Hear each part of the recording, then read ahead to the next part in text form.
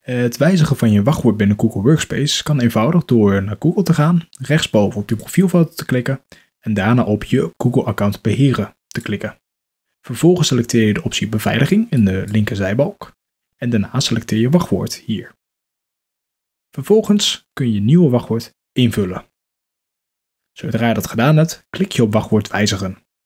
Het doorvoeren van je nieuwe wachtwoord is dan voltooid. Nou sta ik voor een uitdaging. Op het moment dat ik mijn wachtwoord helemaal niet meer weet en ik wil opnieuw inloggen, dan vraagt hij om mijn wachtwoord. En die weet ik dus niet, dus klik ik op wachtwoord vergeten. En dat is wel lastig, want je ziet dat ik of mijn telefoonnummer bij de hand moet hebben, of een verificatiecode via de Google Authenticator app moet opgeven. Heb ik beide niet, dan zul je contact moeten opnemen met je beheerder, CQ je ICT-afdeling of je reseller, zoals wij, om toegang tot je account te herstellen.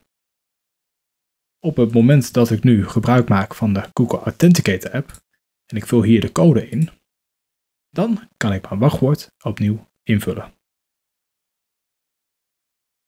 Vond je deze video handig? Laat het dan weten in de reacties hieronder. Heb je opmerkingen, aanmerkingen of tips? Laat het me dan vooral weten.